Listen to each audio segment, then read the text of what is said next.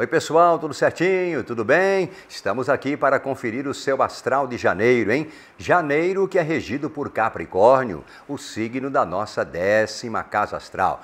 Décima casa astral que tem muito a ver com o trabalho, com a vida profissional, principalmente o trabalho por conta própria, tá? É na décima casa astral que a gente realiza as nossas maiores ambições. E o astral capricorniano é também muito favorável porque estimula a perseverança, a responsabilidade, o compromisso e também a persistência. Então, vamos lá, né? Aproveite aí a pegada capricorniana e corra, lute pelos seus sonhos neste primeiro mês do ano de 2018, beleza?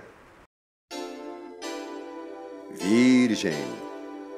Virgem, alô Virgem, não se esqueça de se inscrever e ativar o sininho para receber notificações. E aproveite para deixar também o seu like né, aqui embaixo para que o YouTube continue te mostrando os meus vídeos, beleza? Amor. Sol no seu paraíso astral, hein, Virgem? Que beleza! Por isso, seu lado sedutor vai vir à tona e você vai dar um chega pra lá na timidez mostrando que você também tem um charme irresistível e muita habilidade para conquistar. Na vida 2, vai curtir um período vibrante com sua cara metade. Pode até revelar algumas fantasias sexuais secretas. Família e amigos.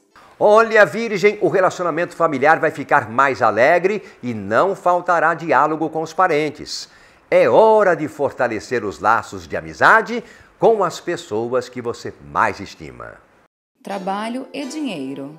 Sol, Vênus, Mercúrio, Saturno e Plutão vão iluminar os seus talentos, favorecer suas conquistas e darão também sinal verde para o seu sucesso. Viu, Virgem? Sorte com grana, hein?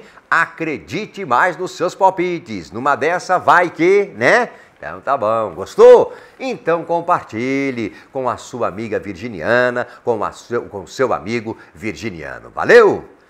Um abraço forte, saúde e sorte para você em janeiro, Virgem.